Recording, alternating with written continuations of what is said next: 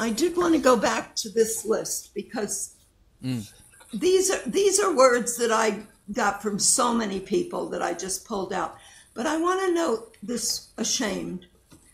Mm. We know those who don't follow um, Ms. Brown on, on social media, we all know as therapists that shame is at the root of so many mental health issues.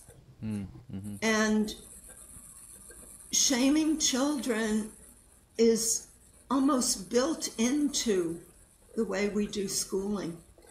And it is it is just so sad to me that there's such an easier way to do it.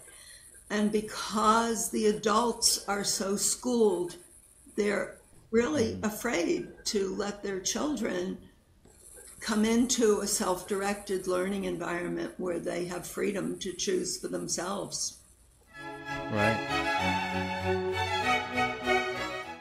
This is the Agentic Schools Vodcast, where you will learn about schools from around the world where children's agency to make decisions about their learning and living is more important than their academic skills. What makes education possible is the satisfaction of psychological needs. So that is what these schools have in common with all others. What makes a school agentic is satisfying those needs particularly well. I'm your host, Don Berg.